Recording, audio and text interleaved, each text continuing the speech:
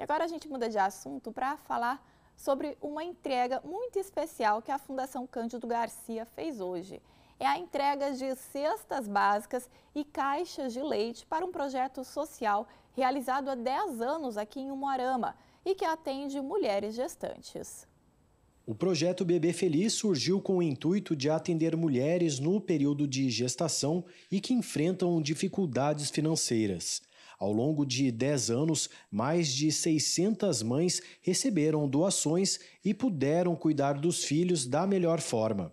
Com o apoio da Fundação Cândido Garcia, o projeto agora terá a oportunidade de entregar alimentos e caixas de leite para as famílias. Elza, e essas doações aqui são importantes para ajudar o projeto?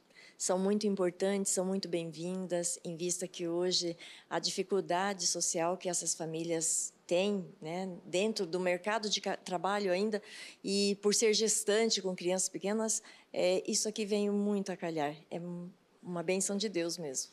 É um projeto que já, já é realizado há muitos anos. Sim, nós vamos fazer 10 anos agora de, de projeto, que nós atendemos a essas gestantes, em contrapartida elas continuam conosco ainda. É, com o passar do tempo, elas não se desvinculam, porque tem, vem outros bebês, vão aumentando a família, tem as crianças e as necessidades aumentam.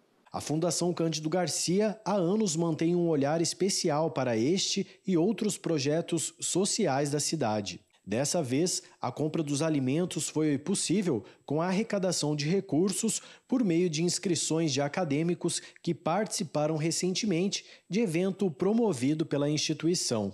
É um projeto muito lindo né, que acontece com as, com as gestantes, é um acompanhamento que tem, tem sido desenvolvido há muitos anos, né?